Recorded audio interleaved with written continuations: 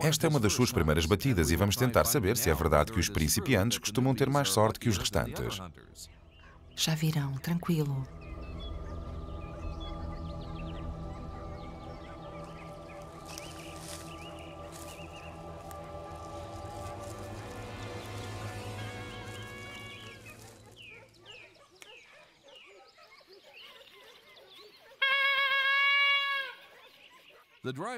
Os batedores já estão quase a um quilómetro dos caçadores e a pressão obriga os javalis a correr na direção dos caçadores.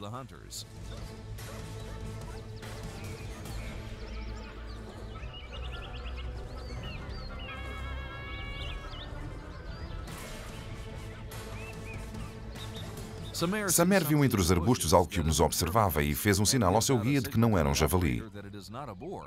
Mas ao mesmo tempo viu que este lhe indicava que um javali o observava do outro lado e apontou nesse mesmo instante.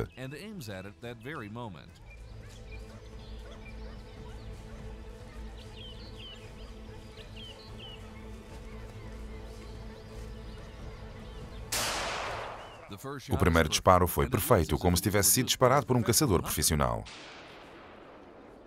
E por isso merece a sincera admiração do seu guia de Tetsu, o líder da batida.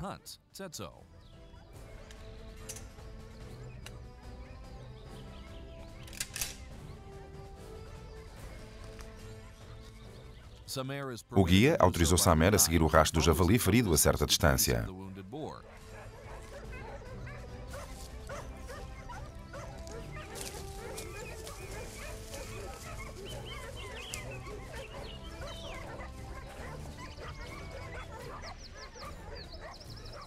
Não tardou em encontrar o javali entre as árvores e acabou com o seu sofrimento.